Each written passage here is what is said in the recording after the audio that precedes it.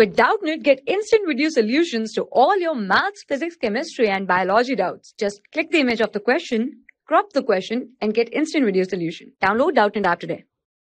Hello everyone. So the question is if two temperatures differ by 25 degree on Celsius scale, the difference of temperature on the Fahrenheit scale is.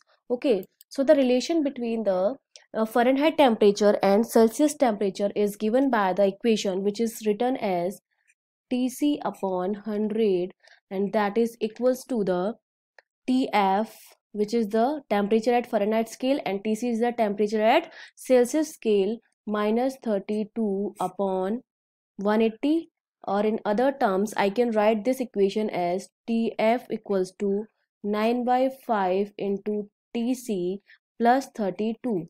Now the change can be written as the change in Fahrenheit scale can be written as this equation in the form of change I can written as delta T TF equals to 9 by 5 into delta TC change in Fahrenheit scale that is equals to 9 by 5 into change in Celsius scale. So the change in Celsius scale is given in the question which is 25. So solving this finally I have get the change in Fahrenheit scale that is equals to 45 degree.